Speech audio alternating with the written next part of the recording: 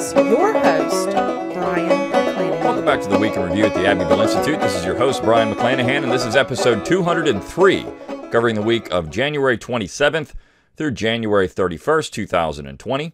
Glad to have you back in the program. Very glad to be here. Don't forget to follow us on Twitter at Abbeville Institute, like our Facebook page at Abbeville Institute, and of course, subscribe to our YouTube page at Abbeville Institute. You can go to abbevilleinstitute.org, give us an email address. We'll give you a free ebook, and you'll get our daily dose of Dixie Monday through Friday and our weekly email on Saturday or Sunday. While you're there, click on that support tab. You can support the Institute with a tax deductible donation. We do exist on your generous contributions alone. You can also click on that shop tab, and you can get your Abbeville Institute apparel. It's great, high quality embroidered stuff. So if you want to support the Institute and advertise the Institute, go on out and get your Abbeville Institute apparel.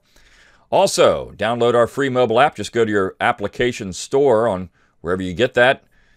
Click on or look for Abbeville Institute. Click on that download button, and you get the Abbeville Institute on the go. It is free of charge. So it's a great way to keep up with the Institute. You've got our lectures, our podcast, uh, mobile access to the website, a lot of great stuff. So there's a lot of ways to support the Institute. Again, share it around on social media, like our uh, like our stuff, share it with your friends, rate our podcast. These are ways that people will find this material and find our our uh, great high quality articles and and our podcasts and lectures. And that's how we're going to help explore what's true and valuable in the Southern tradition together. This is something we do together. It's not just something that I do or the writers at the Institute do. It's something that you do as well if you're listening to this podcast or reading our articles and sharing them around. It's something we all do. This is a collaborative effort in trying to get people to see there's something to this South. All right. All that said, let's talk about the material for the week. Um, I think one thing that's always remarkable to people and, and uh, is that 50 years ago, if you were a leftist in the South, you still liked Robert E. Lee. That you didn't have to be a conservative. You, you were just a Southerner. You admired Lee. And you see it with someone like Shelby Foote in the Ken Burns Civil War series on PBS, which in many ways is awful. But people actually pan that series because Shelby Foote is in it and he's pro Southern. That's one of the reasons people pan the series. I say it's too pro Southern. We need a we need a war series that's not pro Southern. There's nothing pro Southern in it. It's just the South needing to be punished. And so it's amazing to me how far we've come in even 30 years. I mean, the, the PBS series came out in the 1990s. That's not even 30 years ago. And here we are, less than 30 years later. And if you say anything nice about Robert E. Lee, you are committing heresy now because of things like social media, uh, the mainstream press, all of those things, mainstream historical establishment. I mean, look, try to write a positive biography of Robert E. Lee today and see if it gets you a job in the academy. It won't. In fact, you'll get blacklisted. I mean, this this idea that somehow the academy is not political and they just want to exchange ideas and they want to think about things and they want that's complete bunk. Write something that's laudatory of Lee or anything really conservative, and you will not get a job. Nine times out of ten, you're not even going to be considered uh, unless you go work at a at a Christian college or a conservative school, and there are very few of those. You could get a job there, but even there, when you look at what conservatives now say about Robert E. Lee, uh, it's very difficult to think that this is somehow going to be a path to success in modern America. And I think this is tragic because if we really want to talk about ideas and if we really want to talk about great Americans, and of course, last week we talked about Lee quite a bit and Jackson. But if you really want to talk about great Americans and what made someone great, the character traits that we should be admiring in men, I mean, there's no better example than Robert E. Lee, except perhaps George Washington. Lee's character, and I know that I had someone comment to me the other day on my own YouTube channel where I did a, and I, of course I published it here too, where I did a book review of Pryor's book, Reading the Man, where I called it Misreading the Man. And he said, well, this book, I mean, it doesn't get into the hero worship of Lee that Freeman does in his four volume biography of Lee. This is true. In fact, it's a hit piece. And while I said there are certain parts of that book that are actually decent, the objective is clear. Pryor wants to make Robert E. Lee into nothing more than a middle class, average middle class American who's elevated to a status he doesn't deserve. That's the objective of the book. And now I find out that Alan Guelzo is also writing a biography of Robert E. Lee. Well, I'm sure it's going to be high quality material, let me tell you.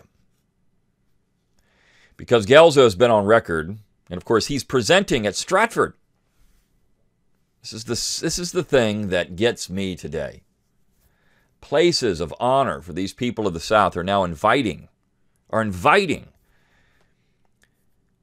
these vitriolic anti Southern scholars to do presentations. Why? I mean, I can understand doing things for reasons of well, we want to have balance, we want to have uh, we want to have both sides of the story, but they don't get both sides. This is what they're getting. And Guelzo was the conservative who's going to go and rip Lee.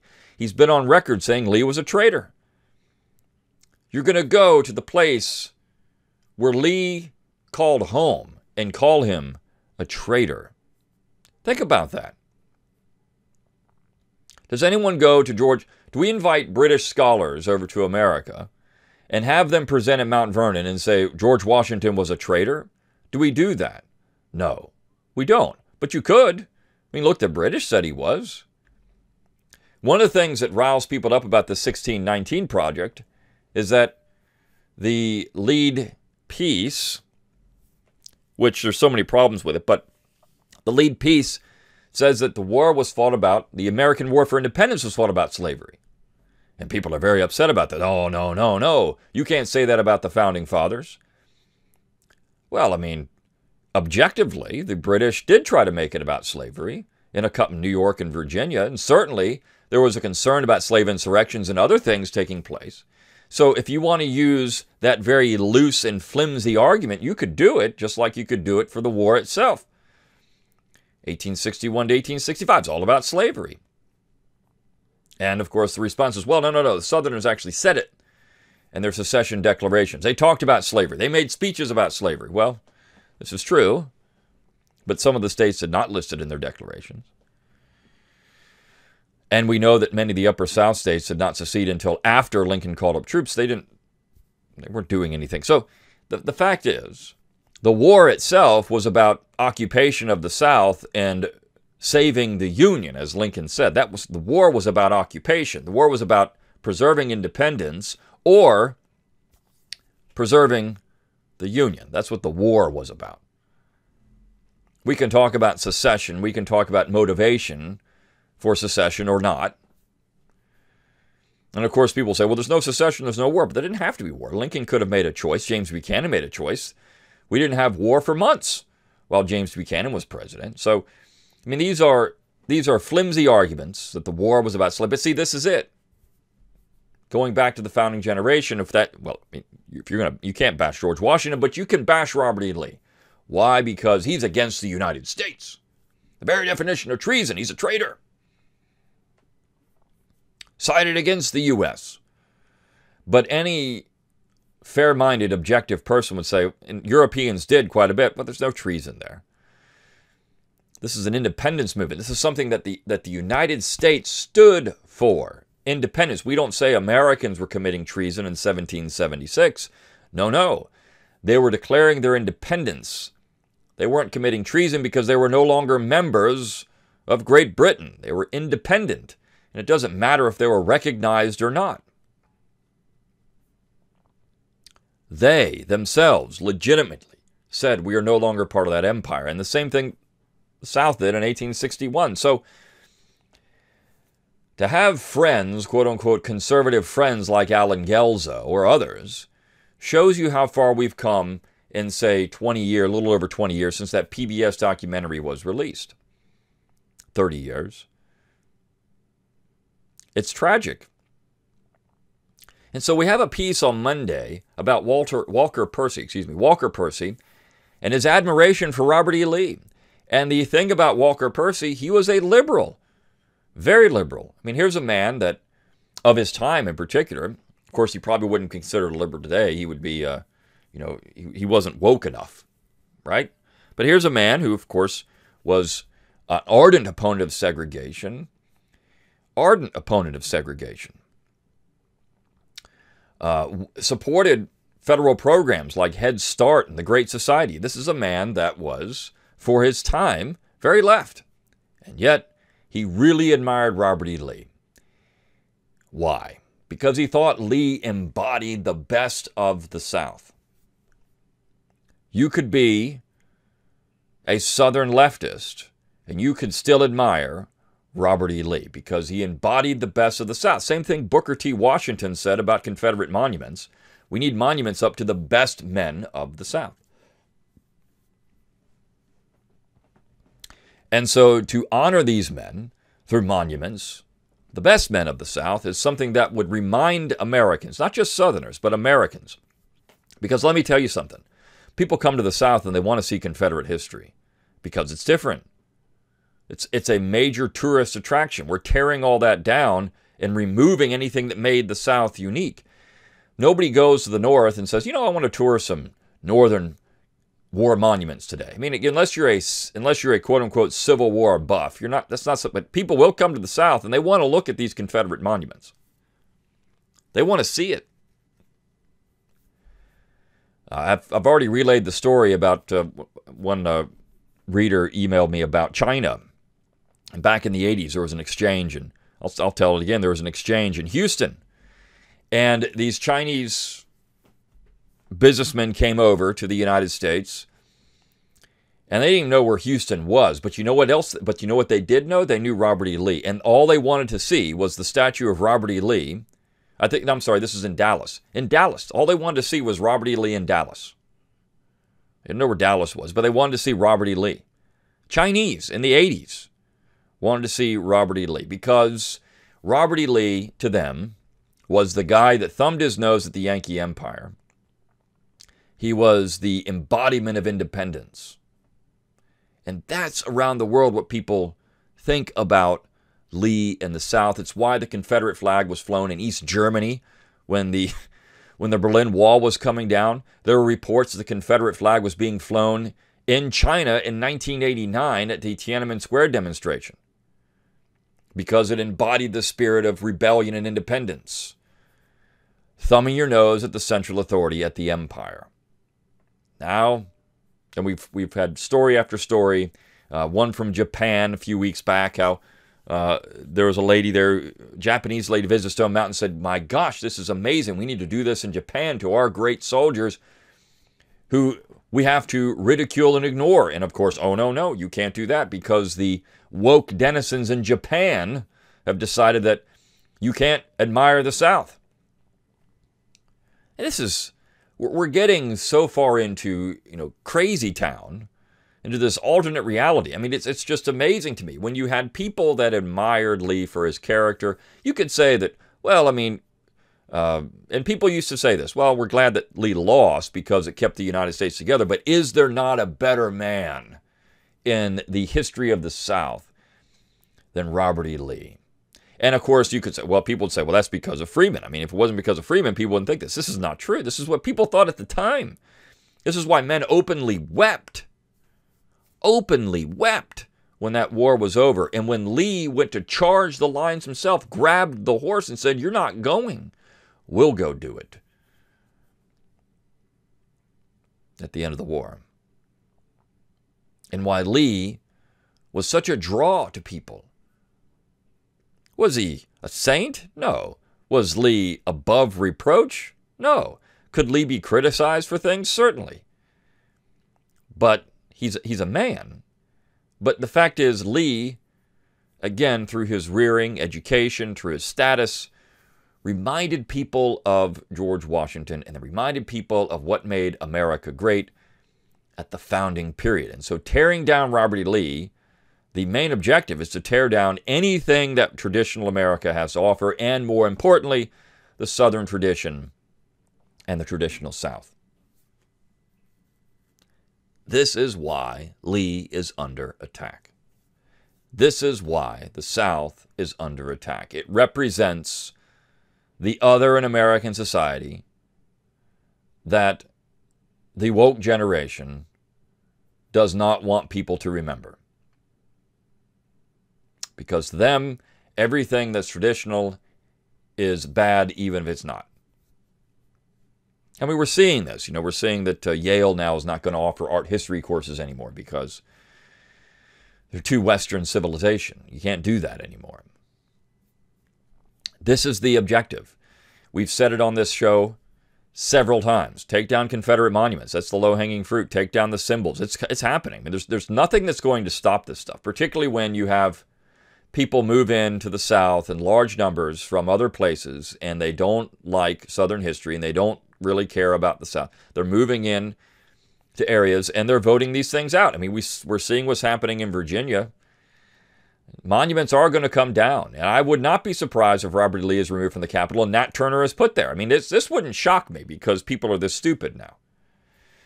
We're going to replace a man that embodied was the spirit of George Washington with a man who was a mass murderer. I mean, it's it's a, a homicidal maniac. That's what we're going to do. But this is where people are in 2020.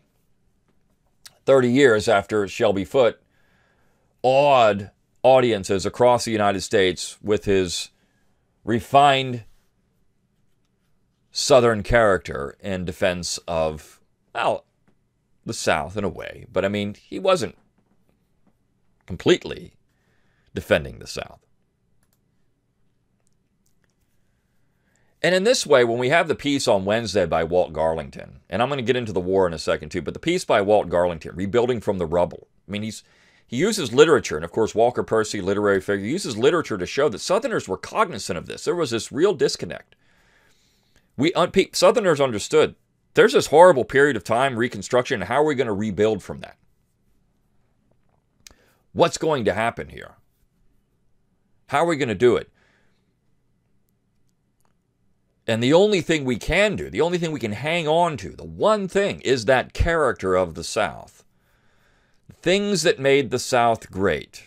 Not the stuff that we can say, all right, look, fine, we got rid of these things. It's good. I mean, it's, it's wonderful that we got rid of these things in the South. That could be problematic moving forward. But um, we didn't have to destroy the South in the process. We didn't have to tear down everything about the South, right? And there were Northerners who believed this. I mean, if you look at the piece by Clyde Wilson on Thursday, Southerners, his, his next installment of the Southerners movie guide, movie guide, it's a list of Northerners and Europeans who played sympathetic Southerners. Because for years, people understood that there was something to this South thing. There was something to the South in many ways. There was something to Southerners being treated well, sympathetically, as a people, as a defeated people. We don't treat any other defeated people like we have Southerners in American history. I mean, we, we have respect for the British in the war, we have respect for the Mexican army, we have respect for uh, the Spanish, we have respect for the Germans. In many films, I mean, look, even even the Nazis are shown more sympathetically at times than Southerners, and not, I mean, look, not often, but you'll find people that say, well, you know, I mean, I was reminded of the Band of Brothers documentary and the interviews, and they had on uh, Shifty Powers, who of course was from West Virginia, but he's saying, you know, if that if that war hadn't come, I might have liked those Germans. I mean, they were just good Germans. You know, they were just doing their job. We were doing our job, and uh, they were just good guys. And uh, what they said, we know, it was the SS that were the bad guys, but the average German soldier, they were okay. Where do you find this now? And, and you can't. These we're talking about Americans, and these people are vilified as just being racist hate mongers. But here we have a major documentary published by left wingers. I mean, this is a Spielberg documentary, uh, essentially Tom Hanks is involved. and They're saying that's okay to, to not hate the Germans. The Vietnamese, the Japanese, the Koreans, all these people that it's okay to say, hey, you know, these people, we, you know, we can we can admire them. We can admire these people. There, let's let's cross the chasm. Let's let's try to reconcile. But no, not the South. Not even Americans in our own backyard. No, we can't do that. We can't we can't have anything to honor those people. And if you honor those people and you say, well, you're just a bad person. It's it's it's again loony town where we've gotten to. This is these people that are that are these social justice warriors and the social justice conservatives like Alan Guelzo. These people are in loony town, and they should be called out for it.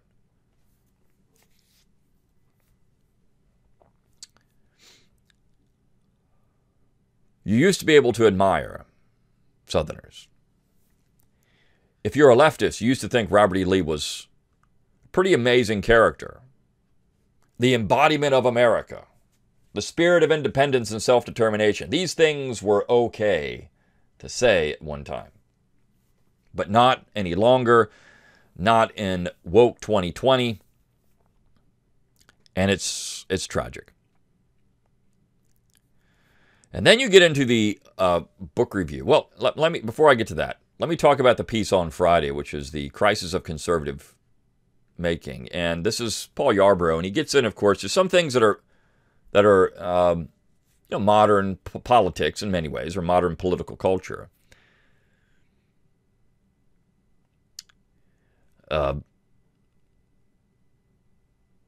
he says he's talking about this Harvard Law Review piece, which I actually talked about in one of my own podcasts last week. How the proposal is to create all these states out of DC neighborhoods so you can pack the electoral college. And I mean, Ian Millhiser at the uh, who's now at Vox, he was Think Progress, thinks this is a great idea. The idea is to uh, wrestle control from rural America, from flyover country, and put it in the hands of elites from DC. Like Barack Obama could be his own state.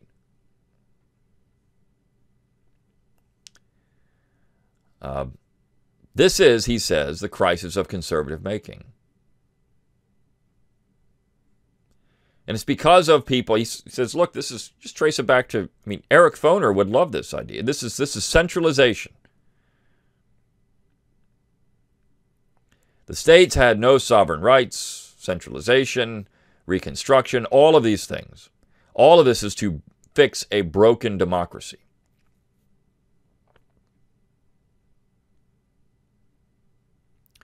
And you see, what's broken to the centralists, the Lincolnians, the Lincolnian nationalists, is broken is that we don't have enough centralization, that these states can somehow rebel or show a little resistance to the center. Um, and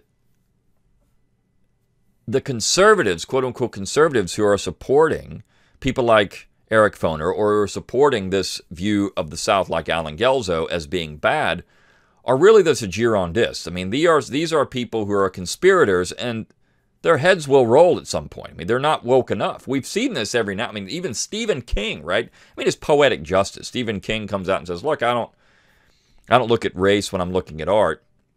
Should be no uh, affirmative action, essentially, in art." I mean, he's excoriated for this because he wasn't woke enough in that statement. Or uh, the author of Harry Potter is ripped for saying things that aren't woke enough. I mean, these are people on the left. These are the these are the cons- these are people who are not leftist enough. And they will be done away with too. You see, this is a dangerous game we're playing here. The people that are advocating these very stupid positions, these loony, loony town positions, should be called out for being loons and ostracized from polite society. You are a loony. Go away. I mean, this is interesting when you do watch the political theater and you see someone like Hillary Clinton saying oh, Bernie, Bernie Sanders is a loon. The, the mainstream left, the establishment left, just like the establishment right, is trying to say that uh, the people there are loony because that doesn't give someone like Hillary Clinton. Now, Hillary Clinton would certainly, as President Clinton, would certainly probably, you know, go along with some of these ideas, but she has to distance herself from that to try to get the average American, which she realizes doesn't really believe in these things, to vote for her, but she'll govern a different way. I mean, this is generally how it works. But conservatives, conservatives, those who are supposed to be individuals who support pushing back against woke culture, tend to support it. Social justice conservatives do, people like Alan Guelzo. Why? Why do they do this? Because they think that the war is all about slavery, that the South should be punished, and the South is the is the horrible other in American society. And so we have this new book by Samuel Mitcham, who writes for the Institute, just came out. It wasn't about slavery, exposing the great lie of the Civil War, published by Regnery History. Um, and this is a this is a bold move. When you come out with a book that says it wasn't about slavery, it's a bold move.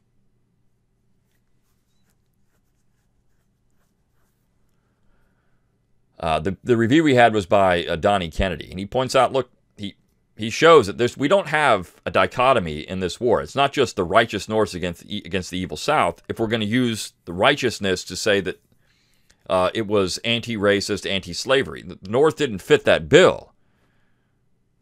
He says, for example, in 1864, Republicans unanimously joined Democrats in New Jersey and passed an anti-miscegenation law outlawing marriage between white and black people.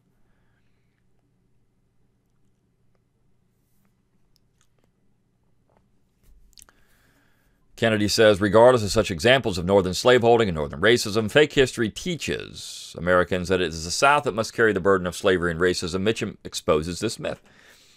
Now, again, one thing I'll say that's really gotten people uncomfortable about the 1619 Project is that they do point out that the North at times is complicit in all this. That makes Northerners uncomfortable because they have to be the righteous good guys, right? So and that way, I applaud the, the project for making people uncomfortable in the North. Um, so, as, as Kennedy says, Mitcham covers a variety of subjects like the constitutional right of secession, North and South cultural differences, John Brown the terrorist, and most importantly, the costs and results of the war. He says Mitcham concludes his book by firmly pointing out that any open minded reader should understand that the war was not just about slavery and certainly not primarily about slavery. Mitcham explains that it was the control of a powerful, centralized, and unquestionable supreme federal government that was the primary reason for the conquest of the South it's always about power. I mean, I, have said this before. You know, why slavery? And I've mentioned it on this particular podcast. Why was slavery important? It was an important issue. I mean, you can't get around that. Slavery was an important issue, but why was it an important issue in antebellum America? Was it because you had these virtuous Northerners who just felt bad about slaves and wanted to end the institution? No, it's because they figured out after the uh, Federalist Party fell apart following the War of 1812. I mean, look, you have to go back to that point. We have the Federalist Party we have the War of 1812. New England doesn't really care for the war. It's hurting, it's hurting New England. And so people like Daniel Webster, who were at this time not necessarily interested in tariffs, they were interested in free trade. They thought the embargo of Jefferson and then the blockade of New England by the, by the British was killing them. And so they start trading with the British clandestinely. I mean, they're, they're actually almost, I mean, you could say they were committing treason at times. Uh, and Daniel Webster says, look, we need to secede now. And so we have nullification is a good idea. So we have the Hartford Convention. It falls apart in 18, well, it, it works, but then the war's over in 1815. So all these Federalists who opposed the war are discredited. The Federalist Party falls apart. All their, I mean, their, their designs on power, which for years, you had the Essex Junto, they wanted to secede when Jefferson became president. Uh, they talked about secession openly. They talked about secession after the Louisiana Purchase. You had Northerners talking about secession in the 1790s.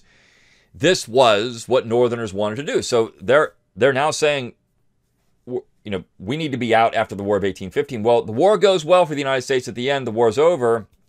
And now these people have egg on their face, so no one wants to call themselves a Federalist anymore. Now, you do have the Republicans, the Jeffersonians, and many of these Federalists would become Republicans, but they would be a particular type of Republicans. Now, this is not to say that all of these Republicans weren't Republicans. First, you look at Henry Clay, and I think Michael Holt has done a great job in that 18 million page book on the Whigs. But um, he shows that the Whigs weren't necessarily always the Fed. They weren't the Federalists. I mean, a lot of them were Republicans, but they were national Republicans. Essentially, what happens is these Federalists begin to influence many Republicans who believed in Hamiltonian economics, but yet they weren't in line with the Federalists. They, they didn't like some of the political ideas of the Federalists. But still, the Federalists figure out, these old Federalists, you know how we start wedging, putting a wedge between the West and the South? You use the issue of slavery. Use the issue of slavery because if the West continues to align with the South, guess what? We're never going to have. We're never going to have our political economy make it in the halls of Congress. We're never going to have the North win. We're never going to have New England become ascendant. So you use the issue of slavery, which Westerners didn't like slavery. They didn't like even blacks being in the West. I mean, Western states, Lincoln's own Illinois, had laws against blacks living there. So that's how you do it. You use the slavery issue to gain power. It's all about power. And Southerners, of course, cognizant of their political economy, their society, would defend it. Again, because they understood what was happening here. Even John C. Calhoun at one point said, hey, you know what? Maybe we need to start supporting things like canals or internal improvements for the West. Because if we can't get those people on our side, we're done. Our, our political economy is done.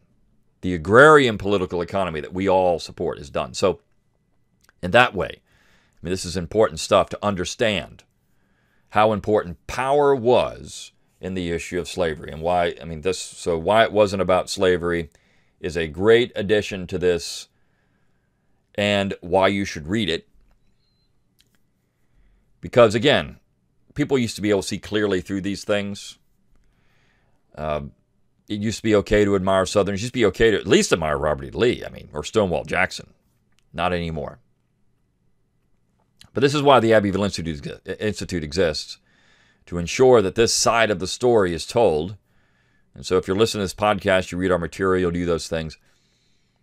Uh, this is why we need your support. Why I said this is a collaborative effort. It's not just me, it's not just the Institute and all the scholars that write for the Institute or Don Livingston, the president of the Institute. It's not just us, Clyde Wilson, and it can't be. It has to be about you and talking about, you know, what is it about these men, these Southern men, that was great? Their character, their devotion, their, their Christian, gentlemanly demeanor.